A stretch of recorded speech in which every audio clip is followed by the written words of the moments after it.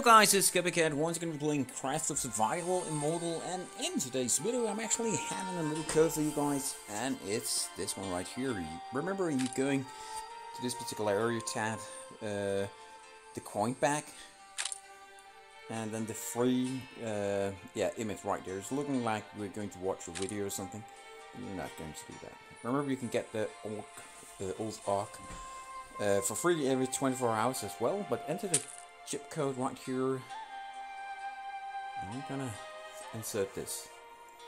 Law My 22 or something like that. Okay, the reward has been sent to the vault, so yeah, this is what we get from it. So hope you guys like this, and yeah, stay tuned on more great gift code as well. So hope you guys gonna get that as well. Um, please subscribe to my channel, give this video like, this just a little teaser for you guys that like gift codes. So hope you guys enjoy. Uh, just a little thing. Um, just a little thing here. When you have it right here, I do recommend that you let it stay because you're actually going to be using these uh, elixir here, right here, um, now and then when you're traveling back and forth. So and if you have already opened up the abandoned kennel and you're not incapable of actually killing the enemy inside of it, you're incapable of getting 1000 points every 24 hours.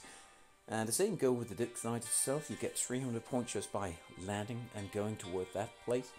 And the same goes with the Witch Eye, right now it's not actually available, it comes every day as well.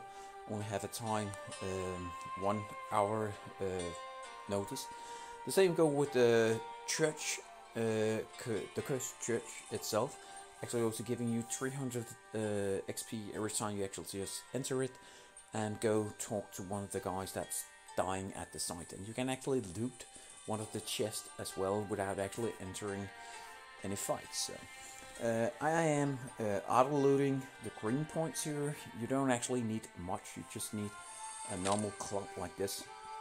Uh, that's the only thing you need. You need to make two of them and then make uh, one or two axes uh, and one uh, pickaxe. When you go into this uh, area here is uh, two pickaxe and one axe. So and then you can just press auto and it will actually do it. You just need full health, otherwise you will die of course. in this particular area here, the White Forest, I normally use weapons not like this, but like this here, this one right here, or this one and I just press auto. I normally don't have clothes on because I have the level uh, of my health more than 2000 I'm actually capable of auto looting this area as well. I almost die at it so every time I actually get uh, just a little uh, piece of healing in food or something at that particular area, I take it.